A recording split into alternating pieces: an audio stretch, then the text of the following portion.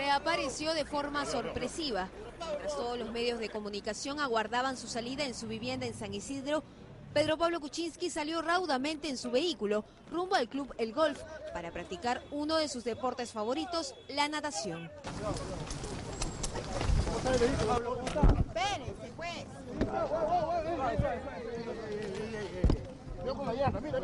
Luego de su salida caótica de este lugar, se fue a un almuerzo de camaradería organizado por su partido.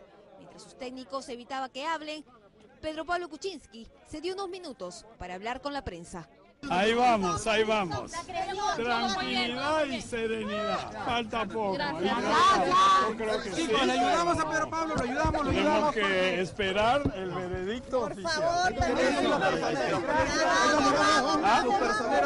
No, estamos los militantes tranquilos.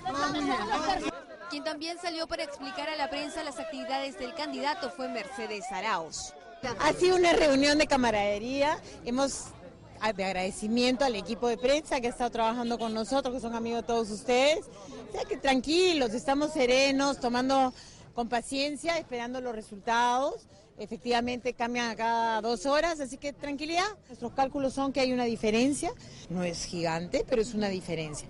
Entonces estamos convencidos de que ese es el proceso electoral, hay que tener paciencia y bueno, los partidos se ganan con goles y van a ver. Más temprano, Martín Vizcarra, el candidato a la primera vicepresidencia de Peruanos por el Cambio, dijo sentirse confiado en que las cifras no se revertirán, pues los votos del extranjero favorecen a su partido. Nosotros creemos que sí, o sea, tenemos confianza, pero como hemos dicho desde el día de las elecciones, el día 5 de junio, como respetuosos de la ley, tenemos que esperar y de las instituciones tenemos que esperar. Le, le hablo, le hablo en este momento, a esta No. hora de la mañana. ¿Usted cree que ya PPK No, ahora nosotros, ¿qué es lo que pasa? Hay 200 mil votos que falta todavía del extranjero que sean procesados.